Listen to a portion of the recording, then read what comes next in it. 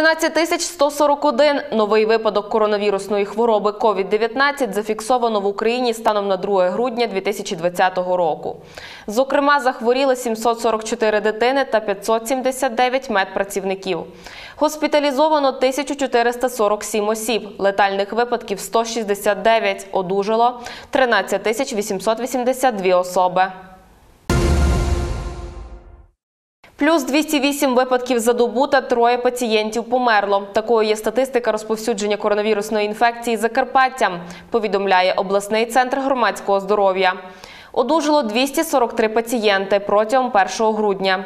Загалом 23 тисячам 646 закарпатцям встановлено діагноз COVID-19.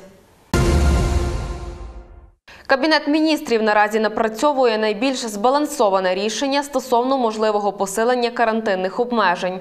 Повідомив на засіданні прем'єр-міністр Денис Шмигаль. Чиновник повідомив, що влада провела опитування щодо оптимальних карантинних заходів серед міських голів та очільників обласних державних адміністрацій.